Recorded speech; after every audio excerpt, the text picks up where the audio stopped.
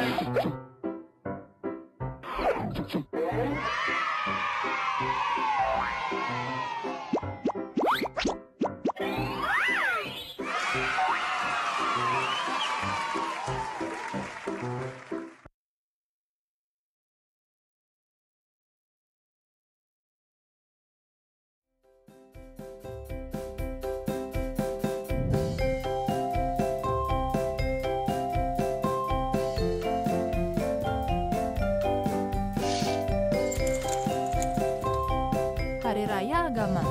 Episode 80 untuk teman-teman kelas 1. Halo, selamat pagi teman-teman. Bertemu lagi denganku, Putra. Sebelum kita mulai kegiatan, kita berdoa dulu yuk.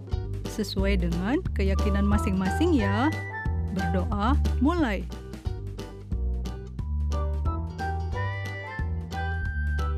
Berdoa selesai. Teman-teman, hari ini aku ingin membantu kakak. Terima kasih ya, Dik. Iya kak, tapi kenapa bukunya dimasukkan ke dalam kardus? Buku-buku ini sudah tidak terpakai, jadi harus dipindahkan. Nanti akan kita sumbangkan. Aku bantu ya kak. Wah, kardusnya sudah hampir penuh kak. Iya, nanti kita bawa ke teras ya. Kita dorong saja keluar, jadi tidak terlalu berat. Oke kak. Sudah sampai.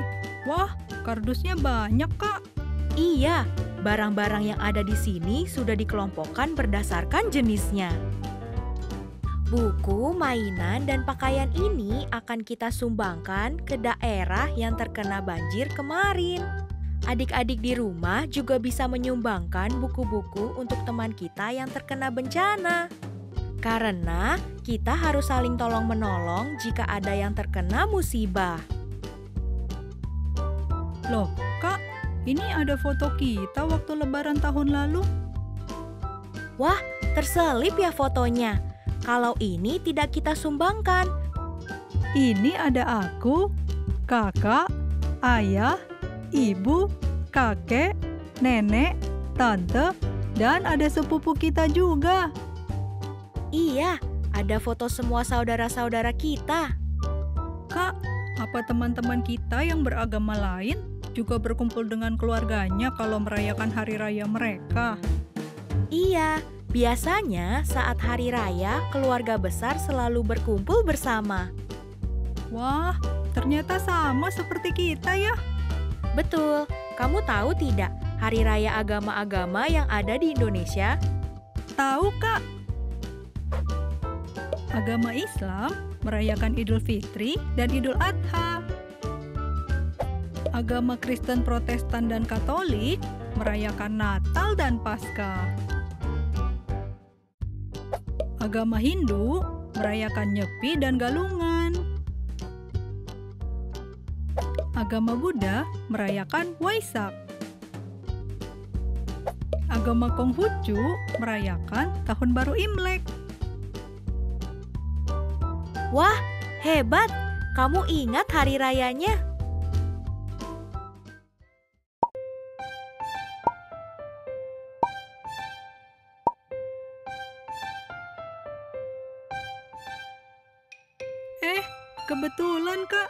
Di sini ada buku cerita tentang hari raya.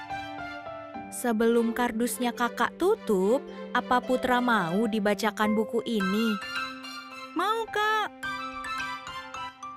Hari Lebaran Yaya.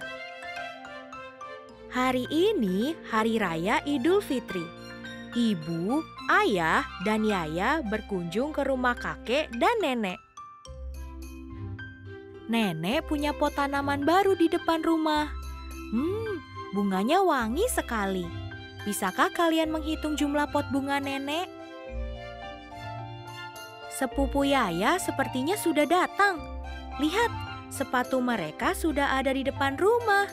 bisakah kalian menghitung berapa pasang sepatu sepupu Yaya? Assalamualaikum. Caca, Ama, Lia, dan Rena sudah datang. Wah, mereka memakai baju lebaran yang sama dengan Yaya. Bisakah kalian menghitung berapa orang yang memakai baju yang sama? Rumah kakek dan nenek ramai sekali. Ibu, tante, dan bude semua memakai gamis. Bisakah kalian menghitung jumlah orang yang memakai gamis? Ayah juga bersalaman dengan kakek, om, dan paman. Semuanya memakai baju koko. Tahukah kalian berapa orang yang memakai baju koko putih? Setiap lebaran, nenek memasak banyak masakan. Ada opor, sayur lodeh, sambal goreng kentang, rendang, semur, gudeg, dan krecek. Menurutmu ada berapa piring masakan nenek? Nenek juga membuat banyak ketupat. Ketupat yang sudah masak diikat dan digantung. Ada berapa ya jumlah ketupat yang digantung? Di hari raya banyak kue lebaran yang enak. Semuanya ditaruh di dalam toples.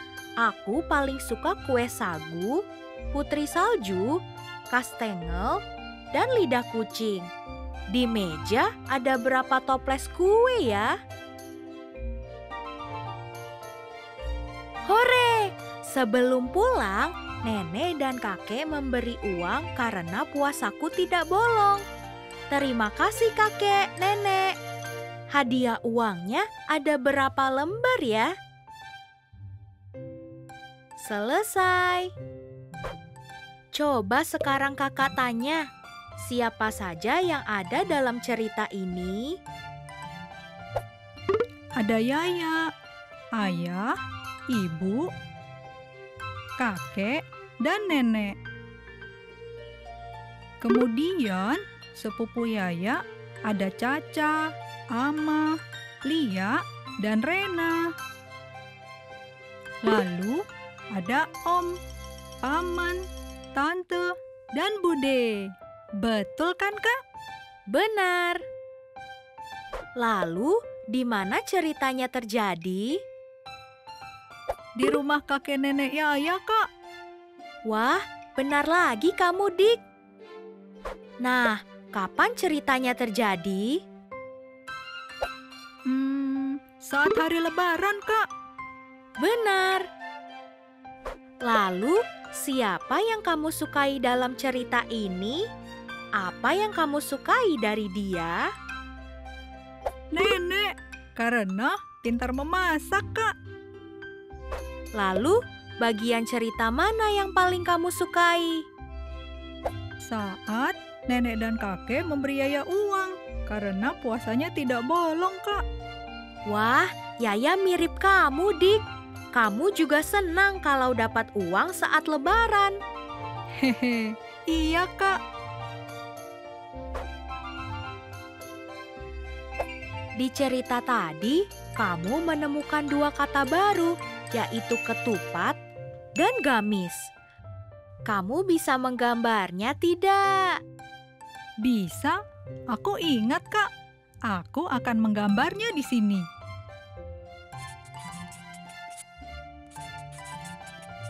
Wah, bagus gambarmu, Dik. Sepertinya relawan yang mau mengumpulkan barang-barang ini sudah datang. Kakak keluar dulu ya. Oke kak.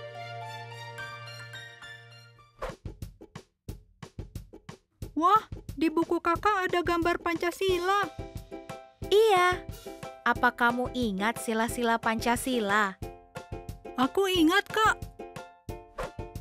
Kalau sila kedua, bunyinya apa? Kemanusiaan yang adil dan beradab. Benar. Nah, sila kedua Pancasila disimbolkan dengan gambar rantai emas. Lalu, sikap tolong-menolong membuat kita semua hidup rukun. Ini merupakan pengamalan sila kedua dari Pancasila. Seperti barang-barang yang kita sumbangkan tadi ya, Kak. Iya, itu salah satu bentuk pengamalan dari sila kedua Pancasila. Selanjutnya, perhatikan gambar-gambar ini dan potongan kata pada setiap soal ini. Kita lengkapi gambar dengan suku kata sak, tal, pi, atau lek. Soal gambar pertama. Perhatikan gambarnya dan lengkapi kosakatanya dengan tepat. Ada gambar gereja. Lalu awalan katanya na. Hmm, jawabannya tal. Dibacanya Natal. Benar. Gambar berikutnya ada gambar pura dan orang dengan pakaian adat Bali. Awal katanya nya. Pasti jawabannya pi. Dibacanya nyepi. Tepat. Nah, ini gambar ketiga. Ada candi dan biksu umat Buddha. Awal katanya why. Aku tahu. Jawabannya sak. Dibacanya Waisak. Benar. Nah, sekarang apa jawaban dari gambar ini? Ada gambar kelenteng. Awal katanya im. Pasti jawabannya lek. Dibacanya imlek. Benar. Wah, kalian semua hebat. Teman-teman, setelah ini kita lanjut belajar yang lain ya.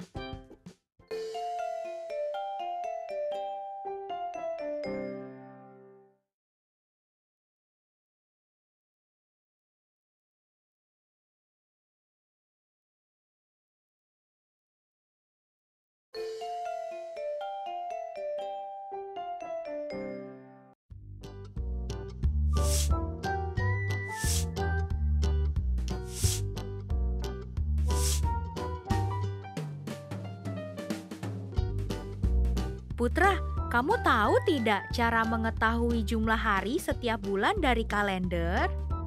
Hmm, caranya dengan menghitung tanggalnya, Kak. Coba kamu sebutkan, ada berapa hari di bulan Maret?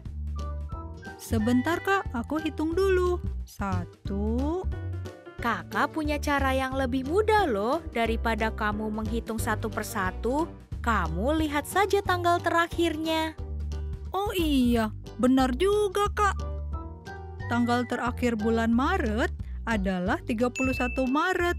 Berarti bulan Maret ada 31 hari. Betul. Nah, lalu ada berapa hari pada bulan setelah Maret? Jika sekarang bulan Maret, maka bulan depannya bulan April. Tanggal terakhirnya 30. Jadi, ada 30 hari pada bulan April. Benar. Wah, kamu sudah mengerti caranya. Kamu tahu tidak? Di Indonesia, Hari Raya Agama ditetapkan sebagai hari libur nasional. Pemerintah biasanya memberikan tambahan satu atau dua hari untuk libur hari raya.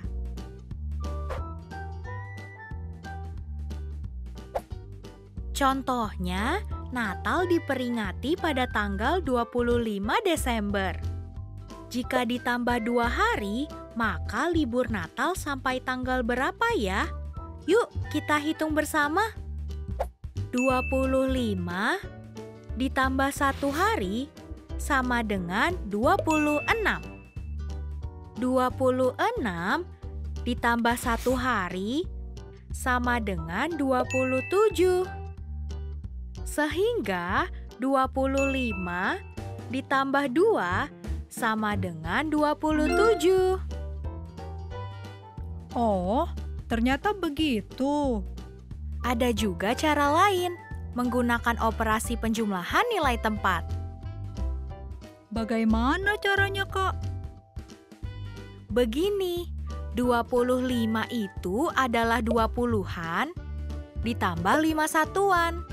Sedangkan 2 adalah 0 puluhan ditambah 2 satuan. Kita mulai jumlahkan dari kolom satuan ya. 5 ditambah 2 sama dengan 7. Sekarang kita hitung puluhannya. 2 ditambah 0 sama dengan 2. Jadi, hasilnya 27 atau tanggal 27 Desember. Wah, hasilnya sama seperti cara sebelumnya, Kak. Iya, jadi libur Natal ditambah dua hari dari 25 Desember dan berakhir pada 27 Desember. Sekarang aku sudah mengerti, Kak. Kalau begitu, kamu bisa jawab soal-soal berikutnya kan? Bisa, Kak.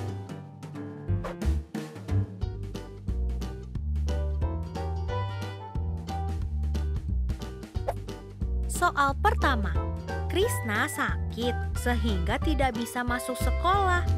Jika Krishna ke dokter pada tanggal 12 April dan dokter menyuruhnya untuk istirahat selama tiga hari, maka tanggal berapa Krishna bisa masuk sekolah? Aku coba hitung ya, Kak. 12 ditambah satu hari sama dengan 13. 13 ditambah satu hari sama dengan 14. 14 ditambah satu hari sama dengan 15. Jadi, Krishna bisa masuk sekolah tanggal 15 April. Benar. Selanjutnya, ayah pergi dinas keluar kota dari tanggal 5 Oktober. Jika ayah dinas keluar kota selama empat hari, tanggal berapa ayah akan pulang? Aku hitung seperti tadi ya, Kak. 5 ditambah satu hari sama dengan 6. 6 ditambah satu hari sama dengan 7. 7 ditambah satu hari sama dengan 8. 8 ditambah satu hari sama dengan 9. Jadi, ayah pulang tanggal 9 Oktober. Benar, Dik. Sekarang soal-soal tentang operasi penjumlahan nilai tempat. Siap, Kak. 12 ditambah 7 berapa hasilnya? 12 sama dengan satu puluhan ditambah dua satuan. Tujuh sama dengan nol puluhan ditambah tujuh satuan. Kita hitung satuannya dulu. Dua ditambah tujuh sama dengan sembilan. Lalu hitung puluhannya. Satu ditambah nol sama dengan satu. Jadi hasilnya adalah satu puluhan ditambah sembilan satuan sama dengan 19. Soal berikutnya, 11 ditambah 6. Berapa hasilnya? 11 sama dengan 1 puluhan ditambah 1 satuan. 6 sama dengan 0 puluhan ditambah 6 satuan. Kita hitung satuannya. 1 ditambah 6 sama dengan 7. Lalu puluhannya 1 ditambah 0 sama dengan 1. Hasilnya adalah 1 puluhan ditambah 7 satuan sama dengan 17. Kalau 20 ditambah 9, berapa hasilnya? 20 sama dengan 2 puluhan ditambah 0 satuan. 9 sama dengan 0 puluhan ditambah 9 satuan. Kita hitung satuannya. 0 ditambah 9 sama dengan 9. Kita hitung puluhannya. 2 ditambah 0 sama dengan 2. Hasilnya adalah 2 puluhan ditambah 9 satuan sama dengan 29. Berikutnya, 15 ditambah 11. Berapa hasilnya? 15 sama dengan 1 puluhan ditambah 5 satuan. 11 sama dengan 1 puluhan ditambah 1 satuan. Kita hitung satuannya. 5 ditambah 1 sama dengan 6. Lalu puluhannya 1 ditambah 1 sama dengan 2. Hasilnya adalah 2 puluhan ditambah 6 satuan sama dengan 26. Benar. Wah, hebat. Kamu sudah menjawab semuanya dengan benar.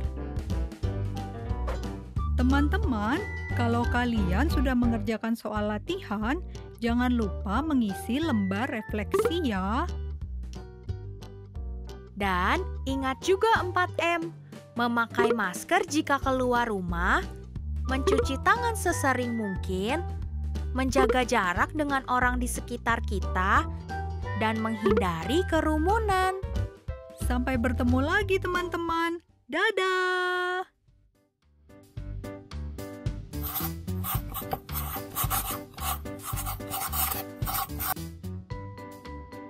Teman-teman, hari ini kita sudah belajar banyak sekali.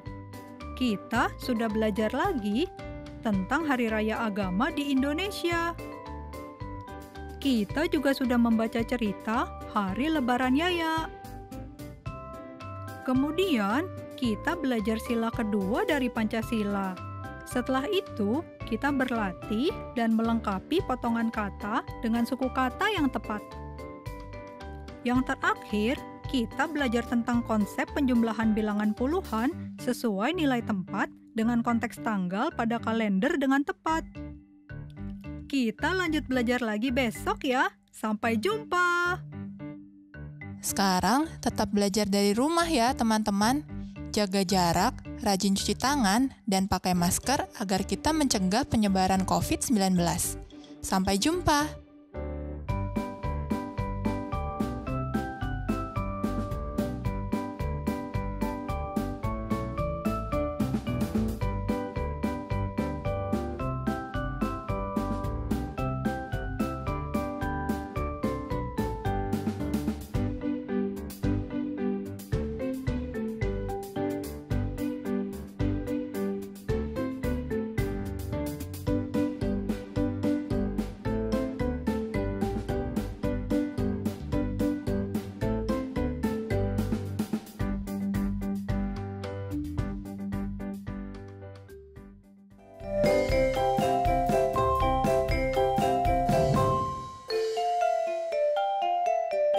Sampai jumpa.